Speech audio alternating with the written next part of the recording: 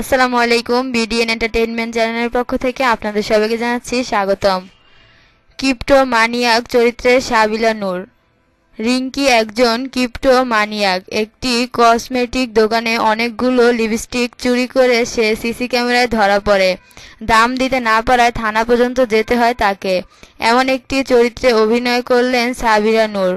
পরবর্তীতে রিঙ্কির বয়ফ্রেন্ড অভিক এসে তাকে উদ্ধার করে। প্রায় এমন কাণ্ড ঘটিয়ে ফেলে রিঙ্কি, যার কারণে বিরক্ত হয়ে সম্পর্কে ছেদ ঘটান অভিক।